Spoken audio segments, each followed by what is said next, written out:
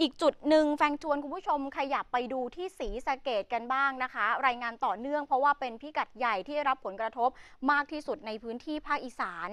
จุดนี้ที่ศรีสะเกดค่ะ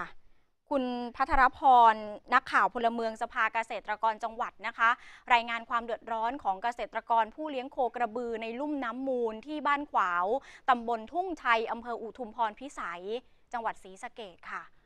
ตอนนี้โคกระบือขาดแคลนหญ้าแห้งฟางแห้งแล้วก็อาหารสัตว์นะคะ คุณผู้ชมทำให้ชาวบ้านและเกษตรกรในพื้นที่ต้องพยายามช่วยกันเองก่อนค่ะ ก็ลำบากนะ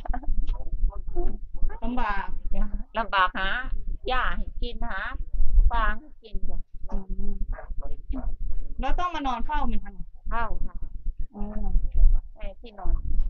ถ้าน้ำขึ้นกว่านี้จะหนีไปไหนคะนี่ ไม่รู้ ไม่รู้ที่จะไป อยู่ในบ้านเกือบเกือบสองร้อยโต๊ะคนละงัวควายนะครับมันเป็นป่าที่มองเงินที่ว่าสูงที่สุดแล้วต้นนี้วันนี้มานวลเอาหัวควายมาปลูกไว้อยู่นี่นอนเขาก็ต้มทุยเขาก็ไว้บาดใส่บาดมันคือเอาออกข้างนอกไม่ได้โลมเลยแหละอยู่แต่ในบ้านเลยบอกกันตัวของผมก็อยู่บ้านผมหมดแล้วออกมากับบ่ได้น้ำกับเพียงปีคือกันถ้าออกจากบ้านรวมบ่ผู้ใหญ่ขาดว่าขาดว่าเกี่ยวเขาปีนี้อาจจะบ่ได้เลยเหรอเพื่อนครับ เพราะว่ามันหนักเนี่ยก็ปีที่แล้วที่ได้เกี่ยวบ่ได้เกี่ยวได้เกี่ยวอยู่แต่ที่บ่เต็มร้อยแล้วแต่ประมาณ20 30ถนนสี่สองสองหกอย่างที่เห็นในภาพค่ะ ตอนนี้ชาวบ้านต้องลุยน้ำท่วม ซึ่งความสูงระดับเอวนะคะ ลงไปเกี่ยวหญ้าแห้งฟางแห้ง เพราะว่าขาดแคลนค่ะตอนนี้